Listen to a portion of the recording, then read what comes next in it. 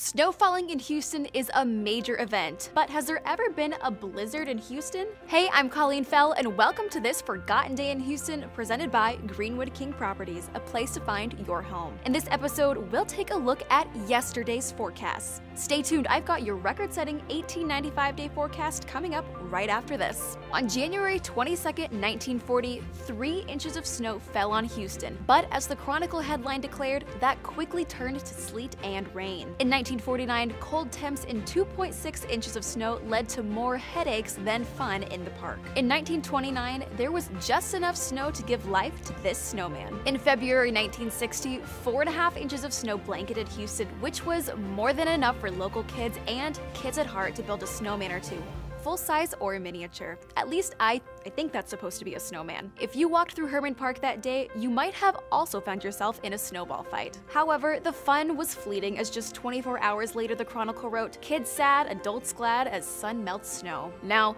long before there were TV meteorologists, green screens, and animated weather icons, there was what remains to this day the record snowfall in Houston. On Valentine's Day 1895, it started snowing in the city, and 48 hours later, the Weather Bureau officially reported that 20 inches of snow had fallen. They called it a blizzard, but decades later, a meteorologist laughed and said it was probably such a foreign subject to the weatherman of that year that he didn't know what else to put down. Greenwood King knows Houston history and the nuances of each neighborhood. If you're looking for a place to find your home, visit one of their three convenient office locations in the Houston area. You can also go to greenwoodking.com where you'll discover the exciting possibilities waiting for you in your new community.